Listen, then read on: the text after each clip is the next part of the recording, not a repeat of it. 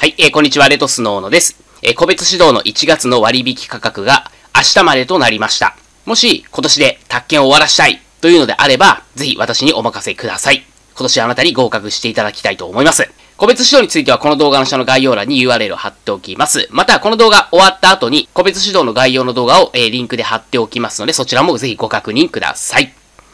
では、問い1に入ります。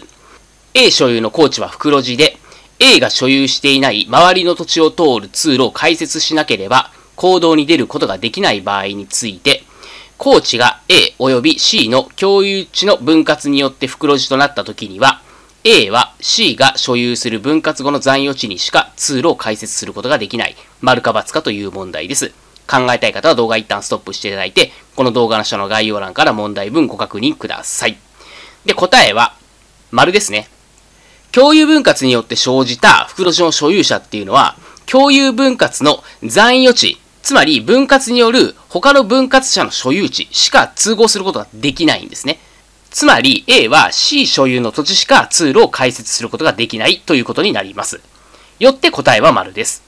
で、今回の問題の解説については、別途動画を作りましたので、ぜひそちらご確認いただければと思います。今回の問題の解説動画と効率的な勉強法についてお伝えしております。で、これについては最後に動画リンクさせておきますので、そちらご確認いただければと思います。この解説を読んでどういったことかわからない方は、ぜひですね、最後の動画ご覧いただいて理解をしてください。理解学習こそ合格への一番の近道です。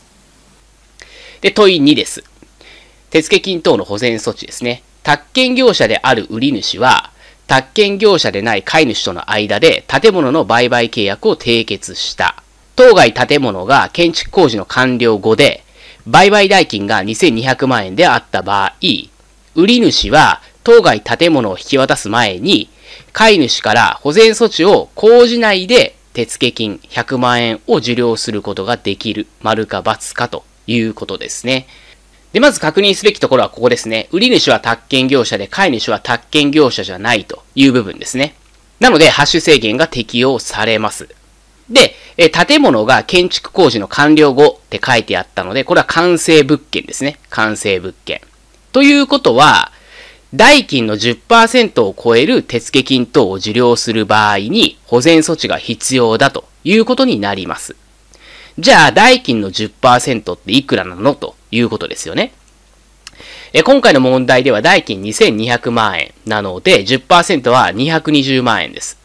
え従って、手付金今回100万円を受領する場合って書いてあるので、100万円っていうのは、えこれ超えてないですよね。220万円超えてないので、保全措置は不要です。従って問題文の保全措置を講じないで、手付金100万円を受領することができるというのは正しいですよね。まあ、従って今回の問題は丸になると。丸ですね。ということです。